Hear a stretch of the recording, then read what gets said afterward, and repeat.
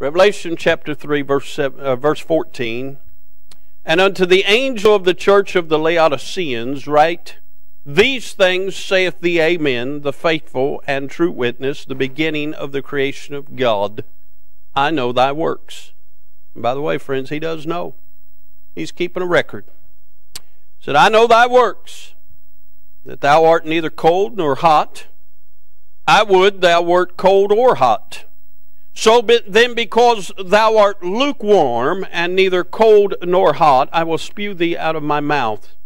Because thou sayest, I am rich and increase with goods and have need of nothing, and knowest not that thou art wretched and miserable and poor and blind and naked.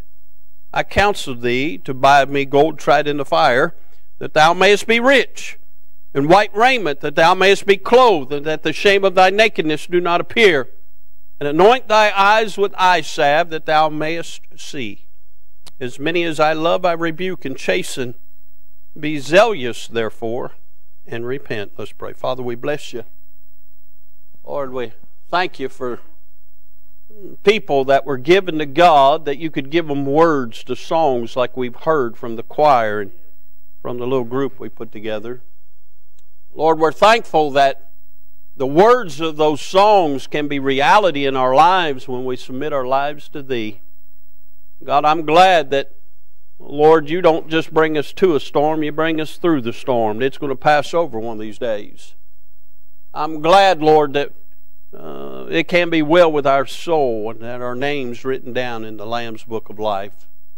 Now, Father, I pray that you'd help us this morning as we dawn a new year. God, you'd give us new desires for thee see great revival see a great move of God in these days. Lord, I do pray for our country. I pray for our president and our leaders. I pray they just do right. I pray that righteousness would reign in America again. And Lord, I pray that the falseness and fraud would be revealed in our lifetime and that folks would be held accountable. Lord, we know if that doesn't come to pass, you will hold them accountable. Now, Father, I pray for the next few minutes you'd arrange the atmosphere around here to where folks would find help, find strength, find encouragement, find rejoicing in their soul, find refreshment. Lord, they'd leave out excited about the goodness of God. Now, Father, help us to set in heavenly places. Use this unworthy vessel and glorify your name. We'll bless you for it. In Jesus' name we pray. Amen. Amen. I, I want you to notice some things about this Laodicean church. I never like preaching on these churches in Revelations 2 and 3 without reminding you these were seven literal churches. uh, some years back, they, folks started spiritualizing the churches as ages. Now, each of these churches do represent certain ages. The Laodicean church represents the age we live in right now. But there was a literal church of Laodicea that the Lord sent this message to. But just like anything God does, uh, it transcends even into our day. Now, I want you to notice a few things about the Laodicean church. I want you to notice its mediocrity. Look in verse number 15 again. The Lord says, I know thy works, that thou art neither cold nor hot. I would thou wert cold or hot. So then, because thou art lukewarm and neither cold nor hot, I will spew thee out of my mouth. The Lord said, You're just lukewarm. You're not cold. You're not hot. You're just there. He said, I would you was either cold or hot. If you're hot, you're on fire for God. If you're cold, you know you're cold. You know you need to get on fire for God. But there's a danger of being in that lukewarm state. Can I say, in their mediocrity, they'd become rehearsed, routine. They just went through the motions. Can I say that mm, in pastoring now, mm, going on my third decade, and in preaching now, in well in my third decade, and being a Christian now in my fifth decade, can I say something that I never thought I'd see, but I'm seeing it that folks come to church just as a routine. Last year would have been a great opportunity, with all that befell this country, for the church to stand up and make America different. But Christians just are in a rut. We're just come to church, go home, come back to church, live life, come to church, live life. We just do what we're expected to do. We come to church, but we don't have church. Some of you got a little nervous when I pulled up some people you never heard singing like that before. Oh, they're sitting in the program, bless God. Thad, put it in the bulletin. Preacher's going to call up folks to sing. Huh?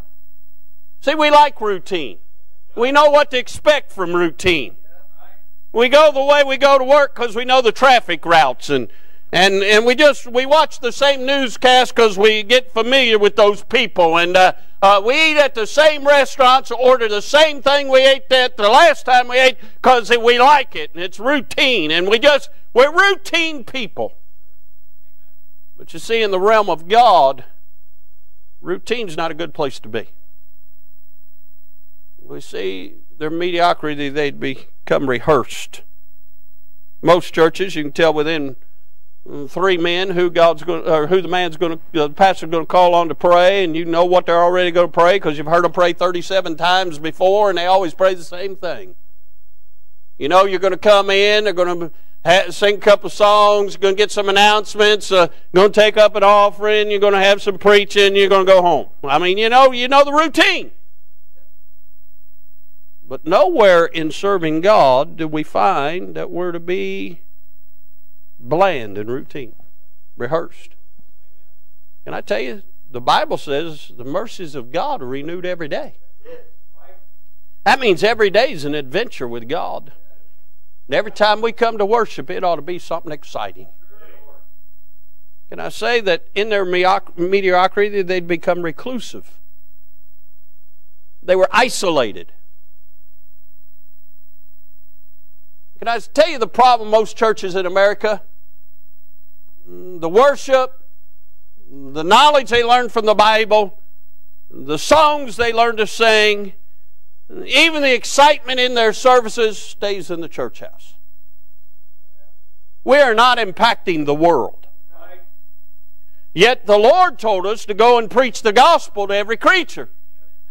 Nowhere in the scriptures did God say, build you a temple and come in and sit down and keep it there. But we become reclusive. Mm, church was mediocre. It was rehearsed. It was reclusive. Mm, but in their mediocrity, they'd become repulsive.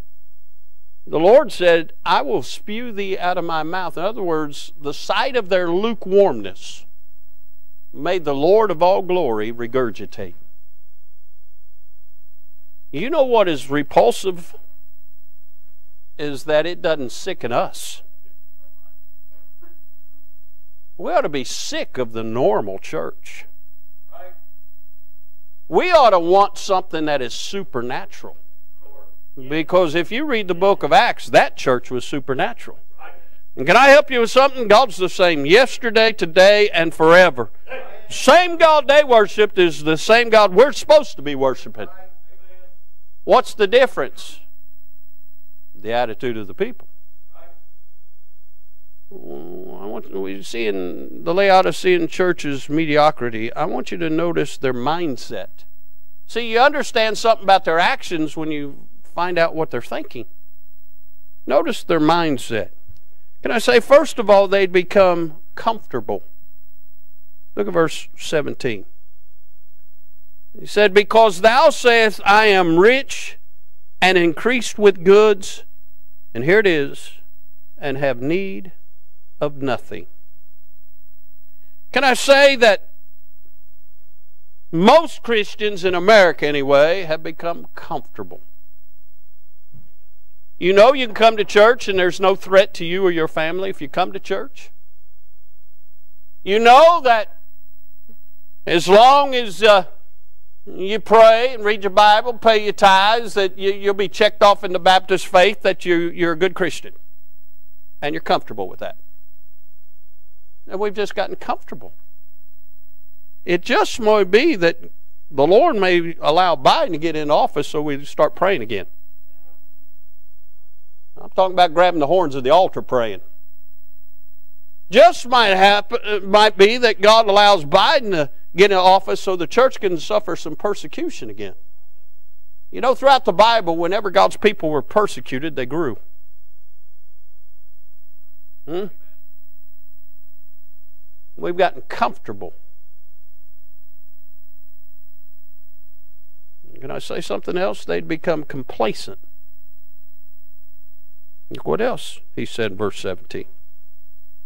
He says, They said they'd had need of nothing. He said, And knowest not that thou art wretched and miserable and poor and blind and naked. You see, verse 17 is their self diagnosis. They think they're doing okay. Brother Brian, they said, Bless God, we come to church. We don't drink no more. We don't cuss anymore. We don't carouse around anymore. We come to church. Uh, uh, uh, we're there. We go out on visitation. We pray. Uh, we come to revival meeting. We sing in the choir. We're doing pretty good. And that's their mindset. And that's many Christians' mindset. Can I say Christianity is not based on our doing? Christianity is based on what's in our heart.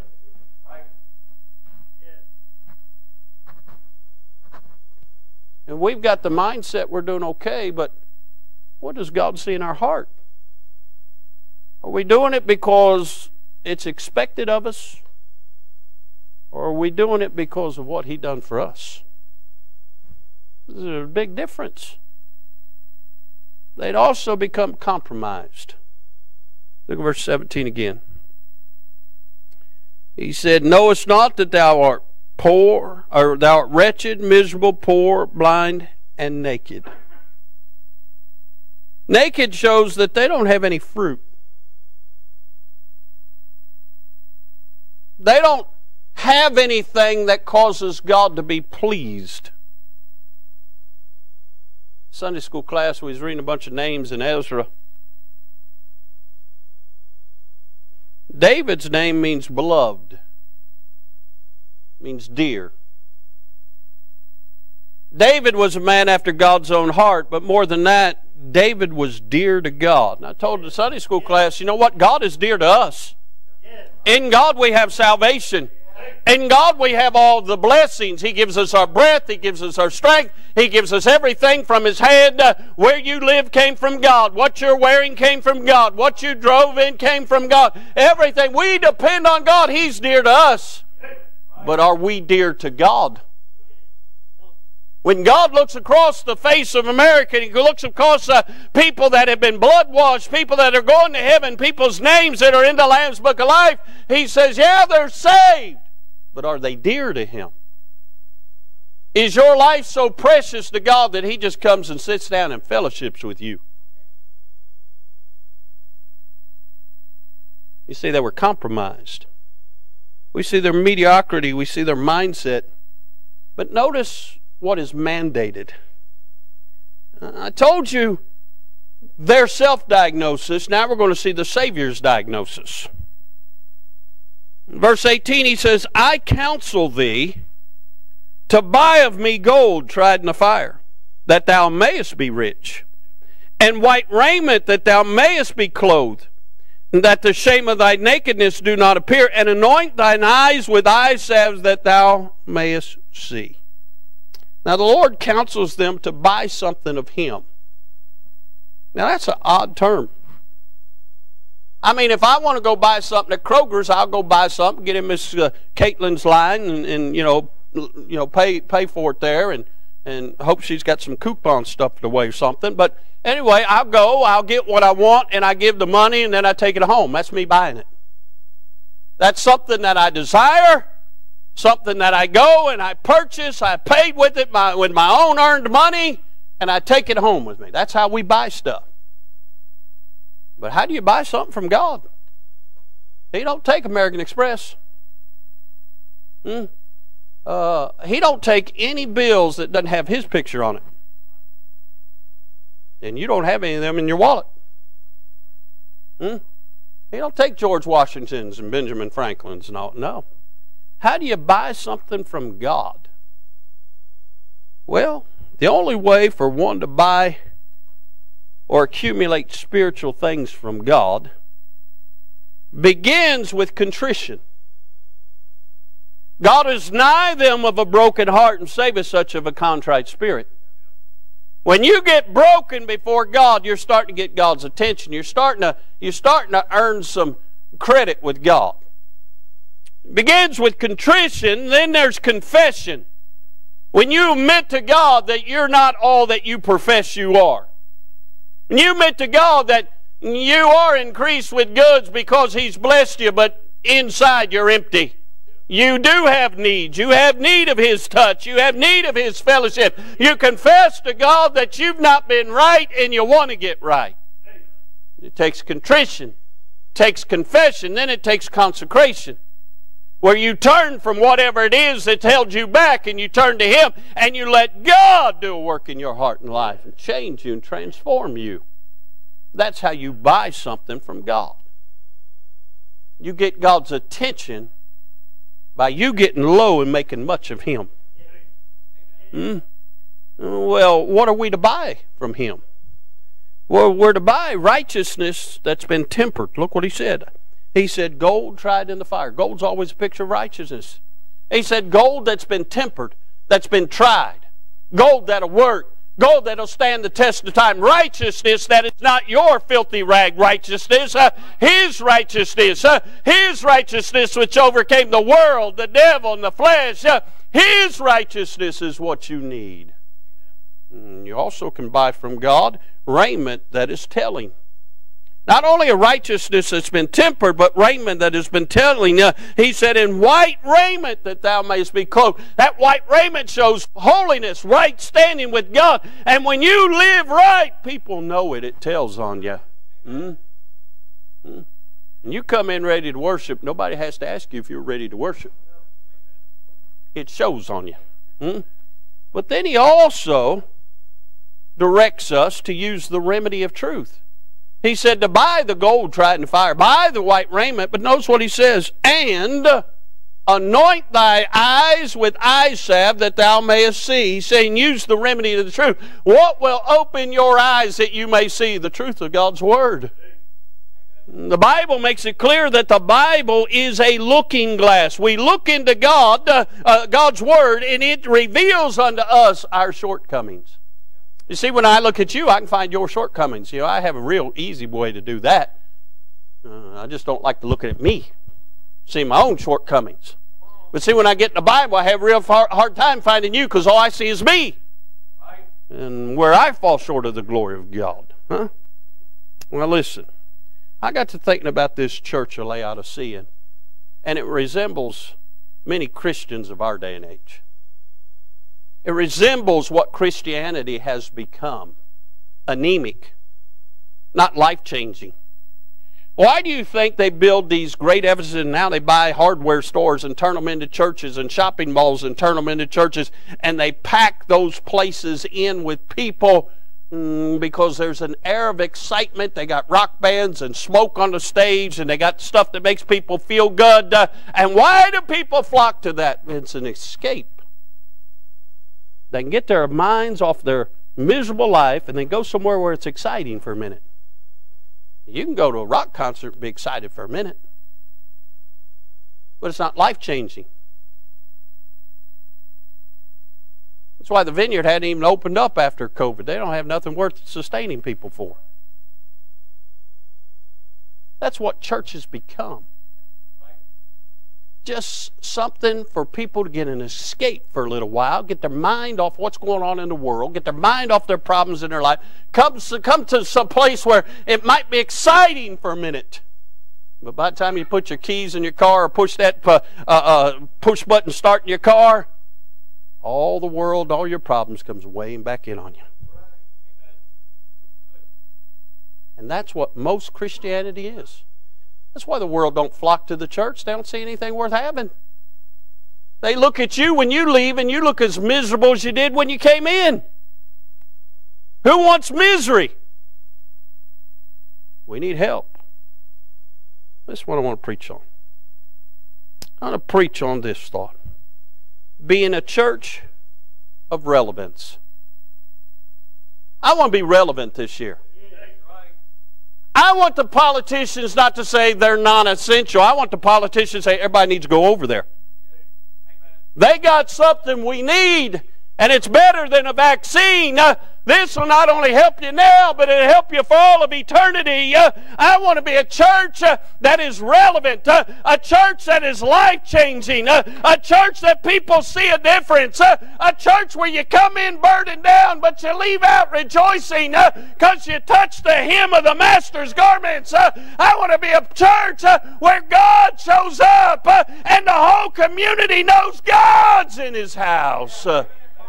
I want to be a relevant church. I don't want to be that Laodicean church. I don't want to be a dead church. I don't want to be a compromised church. I don't want to be a complacent church. I want to be a church that's alive, that's thriving, that is making an impact in this oh so dark and dullsome world. I want to be a relevant church. And I want to preach with God's help on being a relevant church, being a church of relevance. Can I say a relevant church, first of all? Has people who are engaged. People who are engaged. One of their problems is they isolate, they were reclusive. They isolated themselves. We need to be engaged. You can look to your right, you can look to your left, you can look in front of you, you can look behind you. You know what you're not going to find? You're not going to find perfect people. You're not going to find people with halos. Uh, you're not going to find people uh, that have no problems. What you're going to find uh, is people that have had burdens, people that have struggles, people that have faced hardships, uh, people that have heartaches, uh, people that have scars, uh, people that have problems. Uh, but what you'll find is some of those people have found the answer. there is a balm of Gilead. there is a blood that flows. there is hope in the Savior. they have found the secret, and the secret is Jesus. They have found that. can I say? We come as an assembly, we should be engaged with one another. But when we leave and disconnect as an assembly, we ought to be engaged uh, and let people know in our jobs, uh, in our neighborhoods, uh, at our schools, across the street or down the road, there is hope for them. Most Christians, when they leave the house of God, they leave God here. You know what the world needs? Jesus. You know who has Jesus? You, if you're saved. If we're going to be relevant, we've got to be engaged. Hmm? If you don't get involved, you have no right to complain. If you have children going to public school, you ought to be involved in the public school. You ought to be on the PTA. You ought to know the principal. You ought to know the teacher. You ought to show up when they have events. You ought to be there and uh, voice your opinion. Uh, number one, uh, teachers and principals aren't used to people wanting to be involved. They're used to people dropping off their kids and running for a couple hours. Uh, uh, but if you get involved uh, and you show them you care, and when you find out there's a need for the school and you get involved and you help in that need, you become engaged. Guess what? You earn their confidence. Mm-mm on the job, you ought to be involved. You ought to do more than just hit a time clock. You ought to be involved. Uh, uh, uh, you ought to be involved in your company. You ought to know who the owner is. Uh, you ought to know who your boss is. Uh, you ought to know what your boss's uh, likes and dislikes are. you ought to, if you work with people, you ought to be engaged with people. You ought to represent your company. you ought to let them know you care. you ought to let them know it's more than just a job. it's a place that you're investing your life in. and they ought to have confidence in you that you're more than just somebody taking a paycheck. Hmm? You ought to be engaged. Huh? At the church house, you need to be engaged. You ought to be more than just a knot on the log. You're saved by good, the good grace of God, and if you're in the family of God, you have a right and you have a, a position with God, and you ought to come and invest yourself in other people's lives. The greatest thing that'll ever be said of you is that Jesus used you to help somebody else. Hmm? People that are engaged take part. They take part. They're there. Can I say this? People that are engaged, uh, they take it personal. You see, this is not just the Immanuel Baptist Church to me. This is my church. This is where I go to church. This is my crowd right here. Huh? You may not like our crowd, but you better not talk about our crowd in front of me because this is my crowd. Uh, these are folks that prayed for me when I was sick. Uh, these are folks that have been there for me. Uh, these are folks that care about me. Uh, you got to be present and take part. Uh, that means something to you. You ought to take it personal. I take it personal. This is our church. Huh? I take it personal. Our church is always clean. I've been in churches that look like pigsties. Huh? It's hard to believe this building's uh, going on its 17th year. Look how nice it looks. People take pride in that. I take that personal. This is my church, huh? I take it. I get mad when people turn around the driveway. Hey, it's our driveway. Where we worship God. Don't turn around here. Turn around somewhere else. This is our church. I take it personal when people uh, uh, uh, in the neighborhood uh, want to use our facilities without permission. Well, first of all, they're not going to get permission because this is God's facility. It's not some playground for, for the community. I take it personal. Why? It's my church. It's where we worship God. It's where we honor Jesus. I take it personally. I to take it personally. If you're engaged, you take part. You take it personal. You take pride in it. I take pride in our church.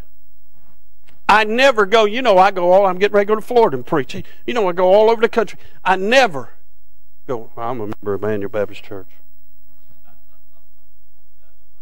I tell them who I am, and I'm the pastor of Immanuel Baptist Church in Florence, Kentucky. There are people all over this country know about our church. There have been places where I've stood and told who I was, and people come to me and say, I've heard about your church. I take pride in our church. Hmm. Hey, we're not perfect. One day we will be. Hmm. Hey, we, we still got some, some bumps and bruises to take care of, but that's okay. I is, this is our place. You ought to be engaged.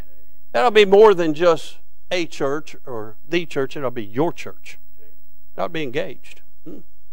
I thought about it. If we're going to be a relevant church, the, the people have to be engaged. Can I say this? The people must exalt Jesus. If we're going to make any impact at all in this world, we got to take to heart what Jesus said. He said, I, if I be lifted up, I'll draw all men unto me. It's all about Him. We've got to exalt Him. We've got to exalt Him for His glory. He's worthy to be praised. We need to exalt him for his grace. I mean, uh, the unmerited favor of God. You didn't earn uh, uh, the privilege of sitting on that church pew. Uh, you didn't earn the privilege of singing in the choir. Uh, you didn't earn the privilege to say you're a Christian. Uh, Jesus did that for you. and through his grace, you, you, we ought to exalt him for that. I am, by the grace of God, I am what I am. Hmm? We ought to exalt him for his grace, for his glory, but we ought to exalt him for his goodness. Hey, he deserves to be exalted for his glory. And we're without excuse not to exalt him for his grace, but even beyond that, he's good. How good has God been to you? He's been good to me. Huh? Hallelujah. Face COVID and still standing. Face cancer and still standing. Huh? Face angry Christians and still standing. What a blessing. Huh? God's been good. I mean, he's been good. Uh, I mean, I'm a nobody. But God's been good. Uh, he's blessed me with everything I've got. He's been, he's been good to me. You got to exalt him. If you're going to be relevant, you have to exalt him. There's a lot of things that the charismatics do wrong. A lot of things biblically, they're not even close. But one thing they do right, they praise Jesus. And he's honored to bless them that bless that praise him. He inhabits the praise of his people. And if we just learn to praise him a little bit more, and exalt him a little bit more, there's no telling how much more he'd do. You're going to be relevant. You got to be engaged. You got to exalt Jesus. But a relevant church has people who edify. And I say it's easy to tear down. It takes somebody right with God to build up. Uh, you don't have to go very far to find somebody that needs some help. You got to edify the bruised. There people get bruised. People get bruised on the job for being a Christian. People get bruised in their own family for making a stand for the Bible. People get bruised uh, just trying to be good and do right. Huh? You driving down the road and somebody tell you number number one, but not with that finger. I mean, you, you just uh, that, that'll mess you up. But you can get bruised. You can get bruised on your way to church trying to figure out that stupid roundabout out there, huh? When people come to church, there's some people who've been bruised. And can I say something about a bruise? You don't really notice it till you touch it. Then you're reminded you got a bruise, sore. Now, if you're clumsy, you, you think, where'd I get that? But a lot of times you remember exactly where you got that. And sometimes it just takes a little something to remind you of the bruise. And you bring that to the house of God. Well, somebody here today might be bruised. That's why you got to be real sensitive. God might want you to just be good to somebody. Just go up and say a kind word. It might help them with their bruise. It's called edifying. We're to edify the bruised. Can I say this? We're to edify the broken. It's one thing to be bruised, it's another thing to be broken. There are people that come into the house of God with a smile, but they have wayward children, their heart's broken. There's people that come in, they've got loved ones they've been trying to witness to, and their loved ones won't listen to them. They come in brokenhearted. They want to see their loved ones saved. people that come in, they're brokenhearted because they've lost their job or their spouse has walked out on them or any other number of reasons. They come in broken. I help you something. Bruised, and broken people don't need beat on. They need loved on. They need encouraged. They need somebody to befriend them, to help them. And you might be the very one God wants to use to help somebody, to edify somebody. Huh? I mentioned him many times. Old Frank Stinson's on that banner back there because he was an edifier. Hmm? He didn't have a lot of abilities and talents, but he had a heart for God. And he just wanted to help somebody. I say, that'll make you a relevant Christian. That'll make us a relevant church if we're known for that church that edifies people. That church that has arms wide open for the broken. Hmm? Let me help you some. God specializes on, in fixing broken things. And I say we're also to edify the burdened. Some people got heavy burdens. It may be different for everybody. Somebody may be burdened because the doctor gave him bad news. Somebody may be burdened because they know if somebody doesn't get saved, they're going to die and go to hell. Somebody might be financially burdened. It don't matter what burdens them. What matters is getting them to the Lord. A relevant church has people who edify. What about this? A relevant church has people who are excited. Who wouldn't want a church full of Dr. Phils? Hmm? He'll come in Wednesday night. He said, I'm glad to be here. It's Wednesday night. I've been waiting for this since Sunday. You excited? Hmm? I know some of you think he's kooky. Sit down and talk to him. He's, he's, pretty, he's pretty on the ball. A lot more than I thought. He is a doctor.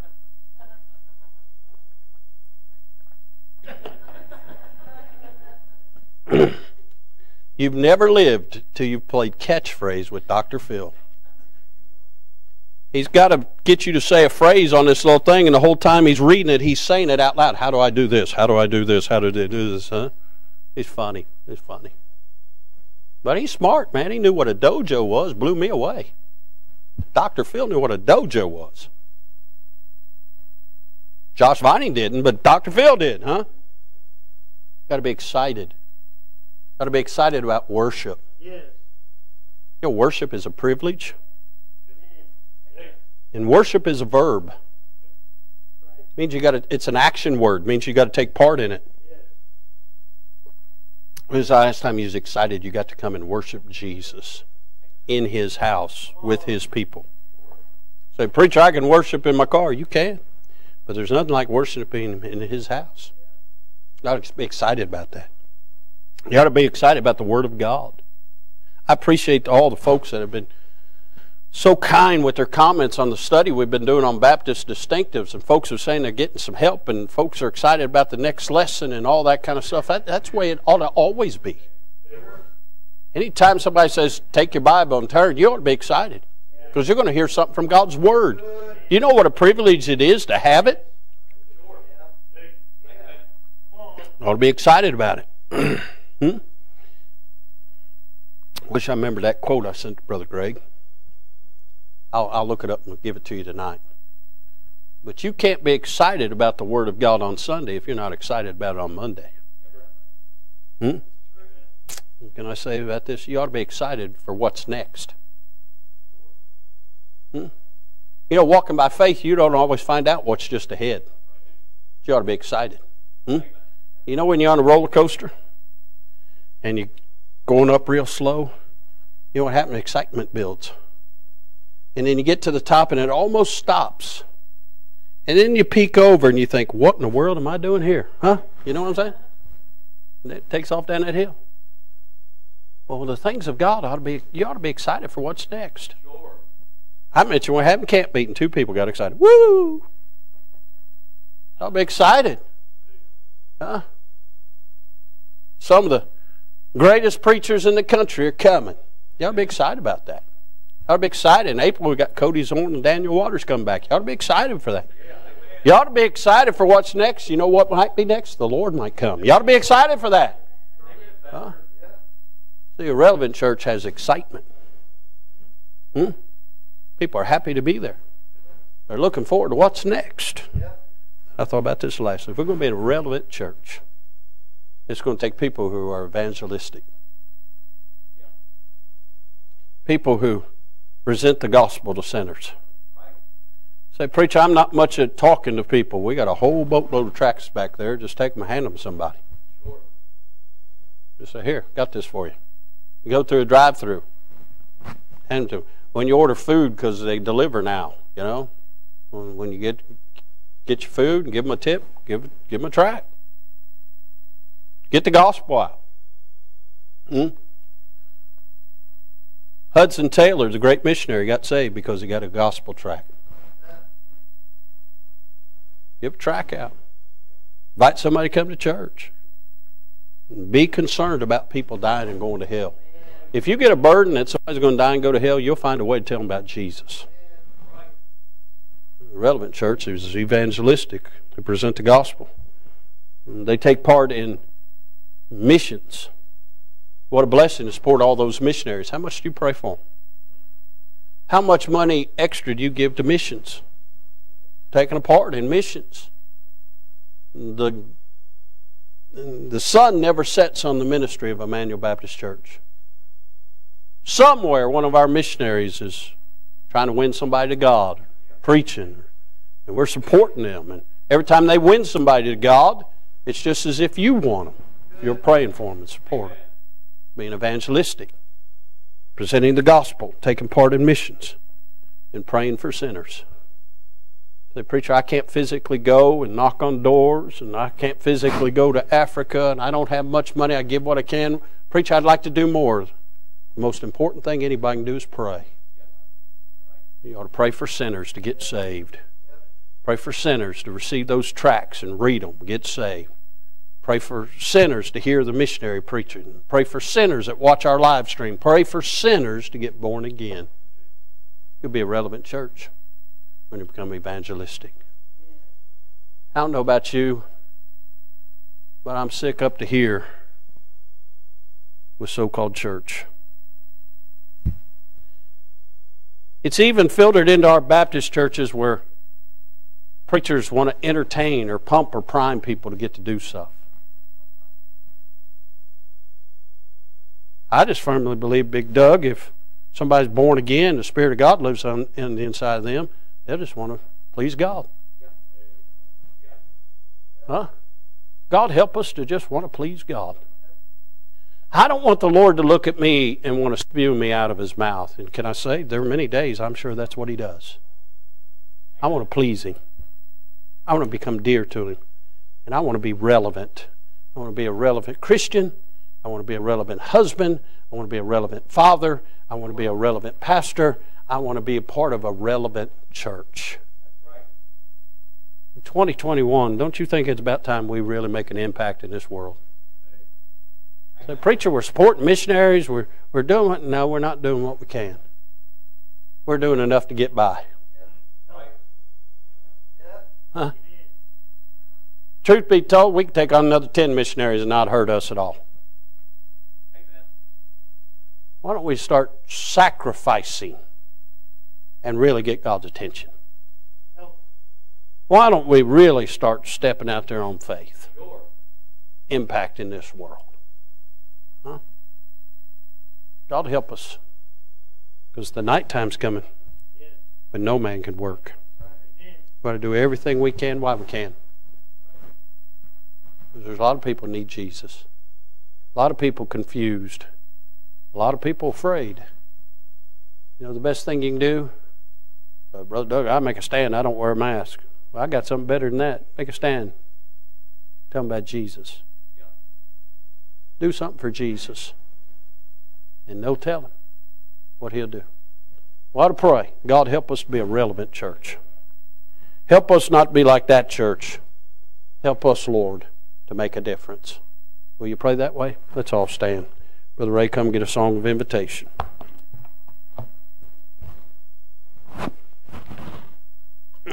Folks are already coming and praying. God spoke to your heart. Why don't you come? If you're here today and you don't know the Lord, why don't you come? We'd love to introduce you to Him.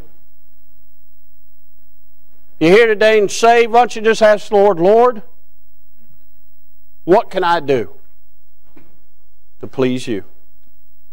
They're picking out a song. Let's pray. Father, we bless you. Thank you for the scriptures. Lord, I don't want to be like that church of Laodicea. Lord, I certainly don't want to displease you. I want to be the best that I can be for you, and I fall short of that every day. So, God, help me. And then, Father, I pray for our church. Lord, you blessed us. We got a great church. We got great folks. Lord, I love seeing them walk in the door. Lord, I want to be relevant. I want to impact this world. God, send us some kind of revival that transforms us.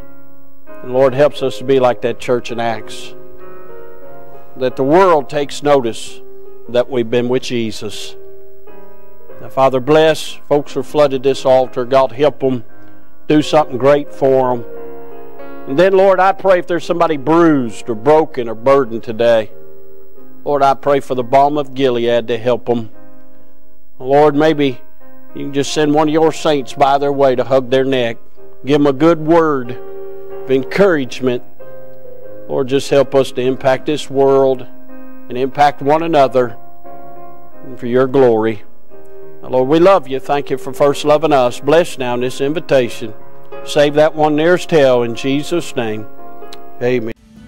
If you enjoyed today's message, head on over to ibcflorence.com and click on sermons. And don't forget to check out our other links in the notes section of today's broadcast. As always, thanks for listening.